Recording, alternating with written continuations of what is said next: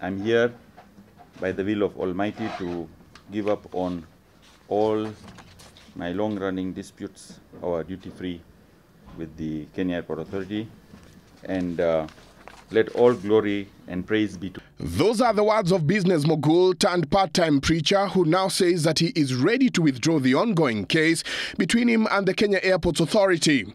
Pattni has been demanding 42 million compensation from the Airports Authority for what he called breach of contract.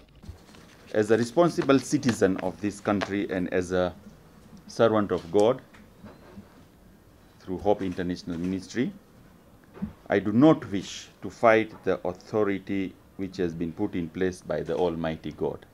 World Duty Free Company Limited and Diplomatic Duty Free Company Limited have agreed to withdraw the multitude of cases pending in various courts against Kenya Airports Authority and or the government of the Republic of Kenya. D. World Duty Free Company Limited and Diplomatic Duty Free Company Limited have surrendered all the premises which they had occupied for the last 25 years. Kamlesh has asked the government to forget the past by forgiving and recognizing those who repent and only punish those who do not repent, adding that when he surrendered now Laico Regency Hotel, he was setting a precedent for other people under investigations to follow suit and surrender. Although I can fight court cases but have opted out for peace, I and my family also need to have peace as my role as a servant of God teaches me that blessed are the peacemakers. Last month, the Kenya Airports Authority demolished duty-free shops and lounges belonging to the businessman at the Jomo Kenyatta International Airport.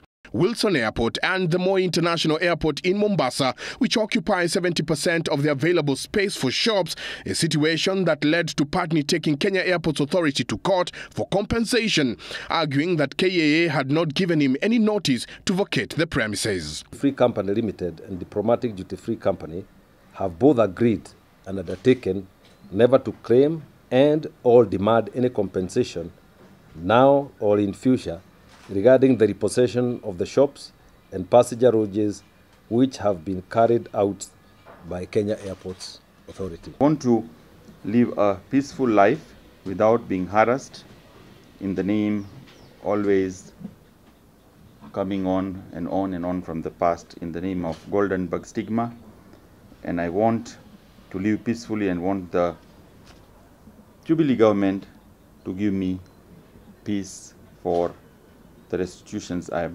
done and I'm doing. I'm Later, Pattni and KA got an agreement that saw the High Court order that the two parties be given a period of one week to settle their dispute out of court over duty-free shops at the airport.